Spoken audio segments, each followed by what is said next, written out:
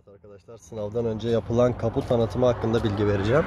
İlk aşama arkadaşlar şuradan çekip birinci kademeyi açıyoruz. Daha sonra kaputumuzun başına geliyoruz.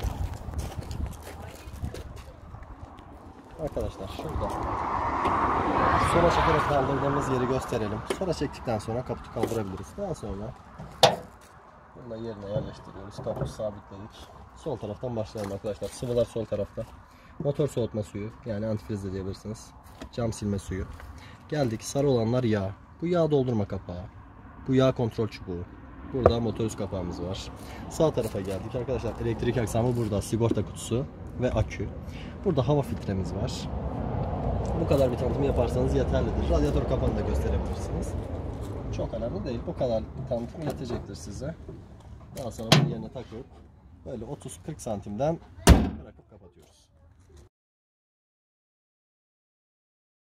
Arkadaşlar bagajın tam ortasında tek parmağımızda yumuşak bir doku var. Oraya basıp bagaj kapağımızı kaldırıyoruz. İlk başta üstte 3 parçamız var. Yangın söndürme tüpümüz, ilk yardım çantamız ve reflektörümüz.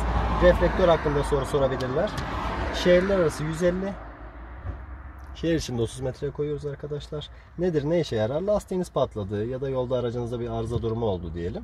Yolu kapatmak için arkadaşlar açarsanız üçgen biçiminde kedi gözü şeklinde aydınlatır yolu ve yolu kapatırsanız. Stepneyi kaldırmanızı isterlerse arkadaşlar yedek lastik burada.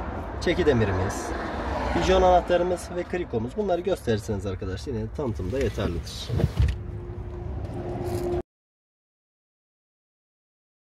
Arkadaşlar merhaba. Kaput ve bagaj tanıtımı yaptıktan sonra araca oturduğunuzda tabii ki koltuk ayarınızı yaptınız, kemerinizi taktınız. Daha sonra kısa bir araç tanıtımı olacak. Arkadaşlar şöyle bir ön paneli görelim. Burada devir saatimiz var. Vitesi ona göre atıyoruz. Burada hız saatimiz var. Arkadaşlar sağdaki tüp yakıt göstergesi. Soldaki hararet göstergesi. Bu dördünü iyi bilin. Bu kolu tanıyorsunuz zaten sürekli kullandığınız sinyal kolu. Burada silecek kolumuz var arkadaşlar. Ayna ayarlarımız burada. Cam açma kapama tuşlarımız burada. Geldik bu tarafa. Dörtlerimiz buradan açılıyor arkadaşlar. Bunu da zaten çalışmalarda görüyorsunuz. Aracımız kaç vites? 6 ileri, bir geri vites arkadaşlar. El frenimiz burada. Temelde bunları bilirseniz araç tanıtımda sorulara cevap verebilirsiniz arkadaşlar.